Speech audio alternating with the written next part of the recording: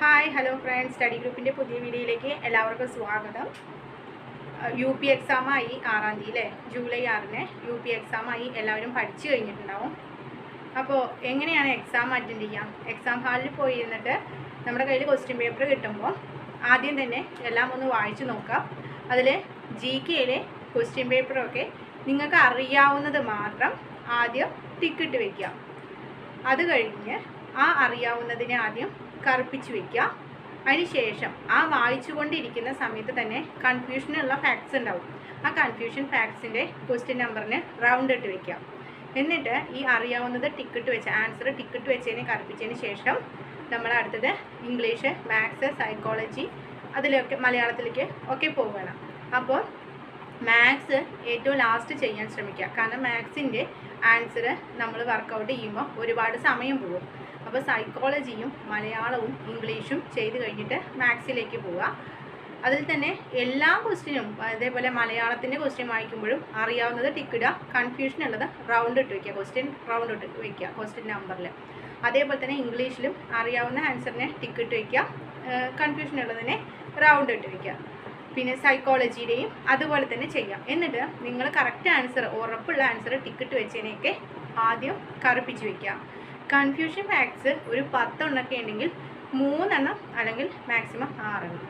അതിലപ്പുറമൊന്നും വേണ്ട അപ്പോൾ അത്രയും ക്വസ്റ്റ്യൻ മാത്രം അറ്റൻഡ് ചെയ്യുക മൂന്നെണ്ണം അറ്റൻഡ് ചെയ്താൽ നമുക്ക് അവിടെ നഷ്ടപ്പെടുന്ന ആ ഒരു മൂന്ന് മാർക്ക് എന്തായാലും തെറ്റിയാതെ പോയി. പക്ഷേ മൈനസ് ആയിട്ട് ഒന്നേ പോവുള്ളൂ. ഒരു മാർക്കേ പോവുള്ളൂ.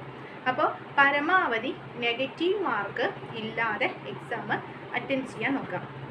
പിന്നെ എക്സാമിന്റെ ക്വസ്റ്റ്യൻ പേപ്പർ കിട്ടുമ്പോൾ ആദ്യത്തെ ഒരു പേജ് വായിക്കുമ്പോൾ ചിലപ്പോൾ നമുക്ക് അറിയുന്ന ക്വസ്റ്റ്യൻസ് ഒറ്റൊന്നും പോലും ഉണ്ടാവില്ല.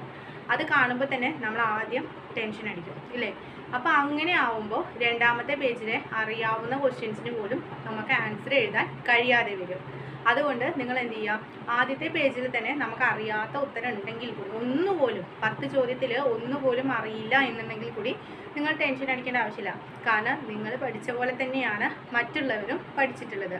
അപ്പോൾ നിങ്ങൾക്ക് ഉത്തരം ഒന്നിനും കിട്ടുന്നില്ലെങ്കിൽ മറ്റുള്ളവർക്കും ആ ആൻസർ അറിയില്ല എന്ന് നമ്മുടെ മനസ്സിനെ തന്നെ നമ്മൾ പറഞ്ഞ് ബോധ്യപ്പെടുത്തുക. അപ്പോൾ അങ്ങനെയാകുമ്പോൾ ആ ടെൻഷൻ അവിടെ ഒഴിവാകും എക്സാം ഹാളിൽ ചെന്നിട്ട് ഒരു രണ്ട് മൂന്ന് പ്രാവശ്യം ദീർഘനിശ്വാസം ശ്വാസം വലിച്ചു വിട്ട് ഫ്രീ ആയിട്ട് ഇരിക്കുക അതേപോലെ തന്നെ ഈ ക്വസ്റ്റ്യൻ അറിയില്ല എന്ന് പറഞ്ഞാൽ ടെൻഷൻ അടിക്കേണ്ട. അപ്പോൾ നിങ്ങൾക്ക് അറിയാത്ത ക്വസ്റ്റ്യൻ ഉണ്ടെങ്കിൽ അത് മറ്റുള്ളവർക്കും അറിയില്ല എന്ന് നമ്മുടെ മനസ്സിനെ ബോധ്യപ്പെടുത്താം. അപ്പോൾ ഇത്രയേ ഉള്ളൂ. നിങ്ങൾ എക്സാം ഹാളിൽ ചെല്ലുമ്പോൾ ക്വസ്റ്റ്യൻ ആദ്യം തന്നെ പോയിട്ട് എനിക്ക് മാത്സ് ആണ് എളുപ്പം. എനിക്ക് മാത്സ് ഞാൻ മാത്സ് സബ്ജക്റ്റ് ആണ്. എനിക്ക് അതാണ് എളുപ്പം. അതുകൊണ്ട് അത് ആദ്യം ചെയ്യട്ടെ. അത് ഫ്രീ ഒന്നും മിസ്സാക്കാൻ പറ്റില്ല എന്ന് തോന്നി. മാത്സിന് ഇരുന്ന് കഴിഞ്ഞാൽ അത് വർക്കൗട്ട് ചെയ്യുമ്പോഴേക്ക് നമ്മുടെ സമയം ഒരുപാട് പോകും. അപ്പോൾ ടൈം മാനേജ്മെന്റിനാണ് ആദ്യം തന്നെ നമ്മൾ ജി കെ ക്വസ്റ്റ്യൻസ് സോഷ്യലോ സയൻസോ കറണ്ട് അഫയേഴ്സോ അങ്ങനത്തെ ക്വസ്റ്റ്യൻസും അതുപോലെ സൈക്കോളജി മലയാളം ഇംഗ്ലീഷ് ക്വസ്റ്റ്യൻസൊക്കെ ചെയ്ത് കഴിഞ്ഞിട്ട് ലാസ്റ്റ് മാത്സിലേക്ക് ക്യൂവ പിന്നെ ഏറ്റവും ടൈം നമുക്ക് ഇഷ്ടം പോലെ കിട്ടാനുള്ള ഒരു മെത്തേഡാണ് എന്ത്? ആദ്യം ക്വസ്റ്റ്യൻ വായിക്കുക. വായിച്ചിട്ട് അറിയാവുന്ന ആൻസറിനൊക്കെ ഓപ്ഷൻസിൽ ടിക്കിട്ട് വെക്കുക. ഡൗട്ട് തോന്നുന്നു. എനിക്ക് കിട്ടും പക്ഷെ ഇപ്പോൾ ഓർമ്മയില്ല എന്ന് തോന്നുന്ന ക്വസ്റ്റ്യൻസിനും നമ്മൾ റൗണ്ട് ഇട്ട് വയ്ക്കുക അപ്പോൾ ഈ അറിയാവുന്നതൊക്കെ കറപ്പിച്ച് കഴിഞ്ഞാൽ വീണ്ടും നമ്മൾ ആ നമുക്ക് കിട്ടും ഉറപ്പില്ല എന്ന ക്വസ്റ്റ്യൻ ഒരിക്കൽ കൂടി വേഗം വായിച്ച് നോക്കുക. എന്നിട്ട് അതിൽ അപ്പം ആൻസർ കിട്ടിയ അപ്പം കറുപ്പിക്കുക. ഇല്ലെങ്കിൽ നമുക്ക് മൂന്നാം വായനയ്ക്ക് വേണ്ടി അതിനെ മാറ്റി വയ്ക്കാം എന്നിട്ട് ഇത്രയും ചോദ്യങ്ങളൊക്കെ ചെയ്ത് കഴിഞ്ഞ് ലാസ്റ്റ് ഈ മാത്സിലേക്ക് പോവുക.